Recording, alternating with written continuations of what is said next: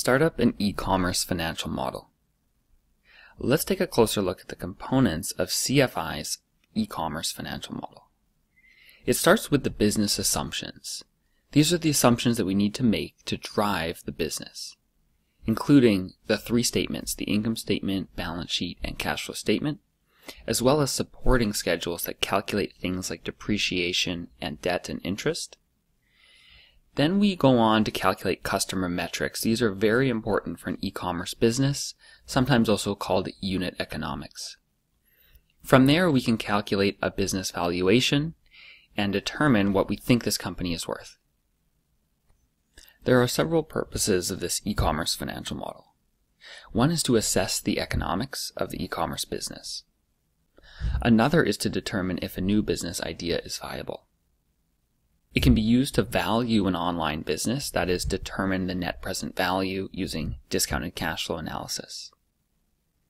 It can also be used for internal budgeting and planning purposes for an FP&A team or an accounting team that needs to do their planning. In terms of relevant courses that will help you build this model, you can start with building a financial model in Excel, then take business valuation to learn discounted cash flow analysis. And then finally, this e-commerce model will show you how to build every single calculation step by step. Let's flip over to the model now and take a closer look. Here we are on the cover page of the Startup e-commerce financial model. Let's click through on the table of contents to the actual model itself. This is a single worksheet model. This is by far the simplest and most effective structure for the model. We can easily organize it by grouping cells and having all of these different sections. Let's open up the entire model to take a closer look. The assumptions that we start with for this e-commerce business are traffic, which is the monthly visits that the site generates. Then there's an applied conversion rate, which leads to orders. The orders then contain information such as how many items per order and the order value. We also have a table that models the customers and the churn rate. There are expenses, order fulfillment, G&A costs, etc. that are all assumptions hard-coded in blue.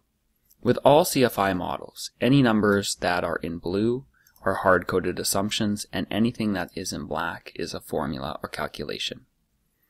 There are some balance sheet assumptions that need to be made related to working capital, capital expenditures, depreciation, etc.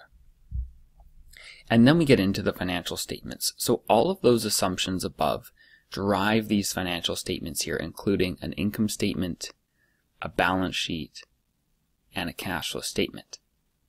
But there are also some supporting schedules required. These reporting schedules include the capital assets, such as technology and property and equipment, there are then depreciation schedules. There's one for technology and one for property and equipment, as well as a simple debt schedule here.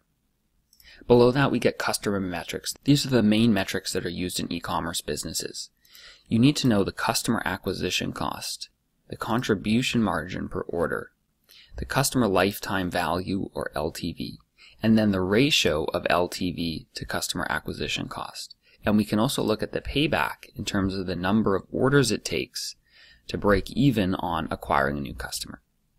Beneath all of that, we have a valuation section where we calculate the unlevered free cash flow or free cash flow to the firm, calculate the net present value of the business, and look at the implied EV to revenue multiple on the valuation. Finally, as always, we cap off all CFI models with charts and graphs to illustrate what the model is telling us. So we can see here a breakdown of the income statement in the top left, the cash flow burn rate and cash balance in the top right. Bottom left, we have customer metrics and same on the bottom right as well. So there's a quick overview of this e-commerce model and what it contains. Let's take a closer look at some of the levers we can pull in making changes to the assumptions in this model. One thing is the site traffic we may decide that this ramp up of traffic is too slow, that organic search is actually going to get to much higher monthly numbers much faster. That's where we could enter in these higher monthly numbers. So we could just override these with new assumptions, as you can see here. Additionally, we could tweak the conversion rates. If we think the conversion rates are too conservative, for example, that email will only be 6%, maybe it could get up to 8%. We can just go in and make these changes right on the fly. Average order value is assumed to be held flat over time, but we may think that price increases are warranted. And in fact, we could have it ramp up significantly depending on the profile of the product and the value add that's going to be created. So you would just go into the model like so and make changes to those assumptions. You could also edit the markdown or discounts and the product margin in terms of cost of goods sold. Churn rate, you could just edit in line right here. Now, variable expenses, this is where there can be quite a bit of cost, especially on paid search. So here's the cost per click. As you can see, it's quite expensive, but it could become even more expensive over time. Who knows? Maybe, maybe five, six, and seven a click. And we could see what the economics look like in that scenario. We can scroll down to the income statement and have a look at the bottom line as well as the top line and see how these changes in assumptions are really impacting the business. As you can see, there's quite a big hockey stick at the end here where the forecast just massively ramps up, and that's because we changed those assumptions. So maybe that's fine. We could scroll down to the valuation section as well and see what the impact is here on valuation. As you can see, the valuation in terms of the EV to revenue multiple went up significantly because of this enormous value that comes towards the end because we changed the assumptions. So you can see how making some simple changes to the assumptions can be very useful in evaluating different scenarios for this e-commerce business.